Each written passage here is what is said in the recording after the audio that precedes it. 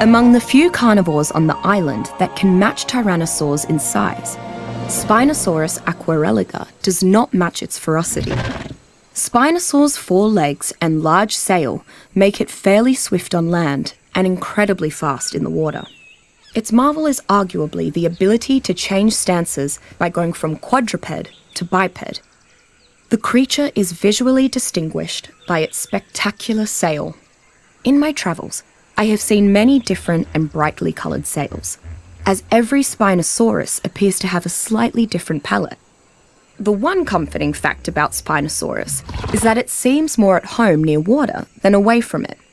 Although the creature is more powerful, faster, agile, and insatiable while in water, it tends to become less hostile as it gets farther from it. On one occasion, I only escaped a Spinosaurus by getting far enough from its lake home to make it simply lose interest. Spinosaurus is an incredibly well rounded apex carnivore, faster than a Tyrannosaurus in water, and able to travel on land unlike a megalodon. Its all terrain versatility may be unrivaled. Although its movement speed is slower in a biped stance, it gains considerable attacking strength and mobility in this form.